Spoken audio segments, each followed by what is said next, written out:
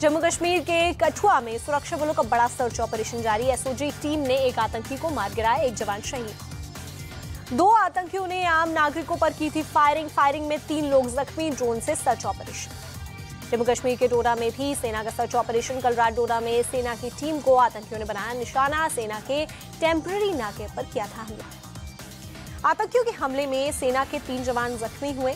हमले के बाद पूरे इलाके में सेना का सर्च ऑपरेशन। दोनों आतंकी हमले पर जम्मू कश्मीर के एडीजीपी आनंद जैन का बयान, सीमा पार से फिर हो रही है घुसपैठ की कोशिश। जम्मू कश्मीर में गड़बड़ी फैलाने के मकसद से घुसपैठ। एडीजीपी आनंद जैन बोले जम्मू कश्मीर में जल्द होने वाले चुनाव की घोषणा के चलते माहौल बिगाड़ने की कोशिश सोशल मीडिया पर आतंकी हमलों को लेकर फैलाई जा रही है गलत खबरें। जम्मू कश्मीर के रायसी में बस पर हुए आतंकवादी हमले में पुलिस ने एक आतंकवादी का स्केच किया जारी 20 लाख के नाम का किया ऐलान। कुछ में रायसी आतंकी हमले के खिलाफ लोगों ने निकाला विरोध प्रदर्शन कैंडल मार्च। लोगों ने कैंडल जलाकर आतंकवादी हमले में मारे गए, लोगों को दी श्रद्धांजलि, तुरंत कार्रवाई की मांग। उड़ीसा में मोहन चरण मांझी आज लेंगे सीएम पद की शपथ, दो डिप्टी सीएम प्रभाती परिदा और कनक वर्धन सिंह देव का भी होगा शपथ ग्रहण। शाम पाँच बजे भुवनेश्वर स्थित जनता मैदान में होगा शपथ ग्रहण समारोह। शपथ ग्रहण के बाद भगवान जगन्नाथ के दर्शन के लिए पूरी जाएँगे मोहन चरण माझी। विधायक दल की बैठक में मोहन चरण मांझी को लेकर हुआ फैसला। राजनाथ सिंह और भूपेंद्र यादव बतौर ऑब्जर्वर रहे मौजूद। मोहन चरण मांझी ने पीएम मोदी का जताया आभार, कहा प्रदेश के विकास के लिए करेंगे काम। मोहन चरण मांझी ने कहा, राज्य में डबल इंजन की सरकार आ गई है, हम ओडिशा के लिए प्रस्तावित संकल्प पत्र के मुताबिक काम करेंगे। अठारहवीं लोकसभा का पहला सत्र चौबीस जून से सत्र में नवनिर्वाचित सदस्यों की शपथ, राष्ट्रपति का अभिभाषण और उस पर चर्चा होगी। राज्यसभा का सत्र सत्ताईस जून से होगा। शुरू तीन जुलाई को दोनों सदनों के चालू सत्र होंगे। समाप्त केंद्रीय संसदीय कार्य मंत्री किरण रिजिजू ने दी जानकारी। केंद्रीय सड़क परिवहन मंत्री नितिन गडकरी ने संभाला कार्यभार। राज्य मंत्री हर्ष मल्होत्रा और अजय टमटा ने भी गडकरी की मौजूदगी में संभाला कार्यभार। केंद्रीय मंत्री निर्मला सीतारमण ने वित्त मंत्री के रूप में कार्यभार संभाला। मोदी सरकार में लगातार दूसरी बार वित्त मंत्री बनी है सीतारमण। जयपुर में राजस्थान पुलिस स्थापना दिवस के अवसर पर समारोह मुख्यमंत्री भजन लाल शर्मा भी हुए शामिल। राजस्थान पुलिस स्थापना दिवस कार्यक्रम में बोले, सीएम भजन लाल राजस्थान पुलिस हर परिस्थिति से मुकाबला करने के लिए हमेशा तैयार रहती है। केंद्र में राज्य मंत्री का कार्यभार संभालने के बाद केरल पहुँचे सुरेश गोपी, कोझिकोड में ताली शिव मंदिर में किए दर्शन, केरल से इकलौते बीजेपी सांसद हैं सुरेश गोपी दिल्ली के गीता कॉलोनी इलाके में आज भी पानी की किल्लत, टैंकर के पहुँचते ही पानी लेने के लिए मची आपाधापी। दिल्ली में जल संकट के बीच हर जोन में अधिकारियों की टीम तैनात करेगी। दिल्ली सरकार पानी से संबंधित शिकायतों के जल्द समाधान के लिए होगी तैनात। नीट प्रवेश परीक्षा की काउंसलिंग पर रोक लगाने से सुप्रीम कोर्ट का इंकार। नेशनल टेस्टिंग एजेंसी को नोटिस जारी कर मांगा जवाब। सुप्रीम कोर्ट में 26 दिन बाद, यानी 8 जुलाई को होगी अगली सुनवाई। करीब बीस हज़ार छात्रों ने देश भर की अदालतों में याचिका लगाई। Minister of state for education Sukanta Majumdar ने छात्रों के साथ नाइंसाफी नहीं होने का दिया भरोसा, कहा छात्रों को न्याय मिलेगा।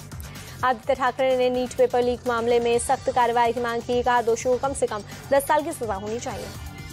नोएडा के सेक्टर सैंतीस के एक पेट्रोल पंप के पास दुकान में लगी भीषण आग, फायर ब्रिगेड की गाड़ियों ने आग पर पाया काबू।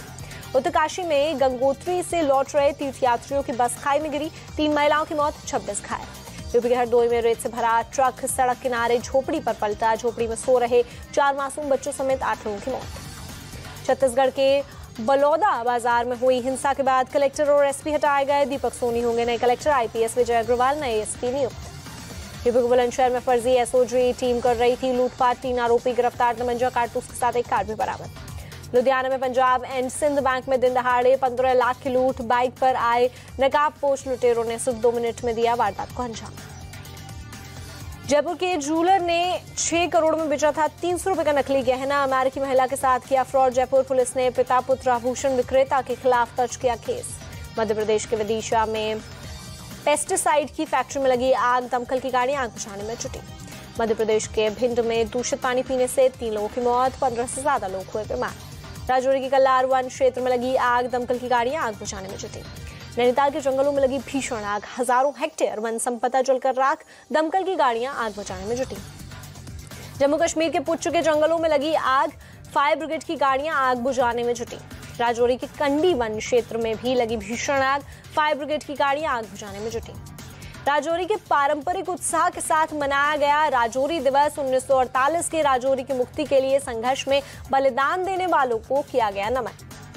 चंडीगढ़ में वॉकथॉन का आयोजन नारकोटिक्स कंट्रोल ब्यूरो और चंडीगढ़ पुलिस ने सुखना झील पर किया आयोजन।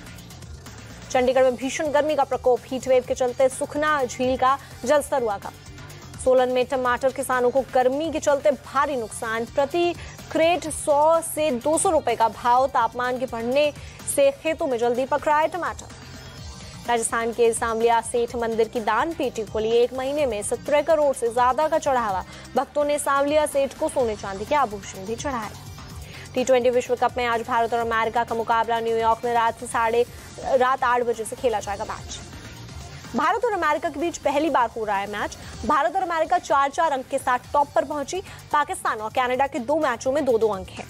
टी ट्वेंटी वर्ल्ड कप में बारिश में बारिश में धुला, श्रीलंका बनाम नेपाल का मैच, बगैर टॉस के ही रद्द करना पड़ा मैच। दोनों टीमों को दिया गया एक एक पॉइंट श्रीलंका, नेपाल का मैच रद्द होने से दक्षिण अफ्रीका को हुआ फ़ायदा। सुपर एट में पहुँचने वाली पहली टीम बनी। ऑस्ट्रेलिया ने जीत की हैट्रिक के साथ सुपर एट में की धांसू एंट्री। नामीबिया को नौ विकेट से हराया। नामीबिया की पूरी टीम बहत्तर रन पर ऑल आउट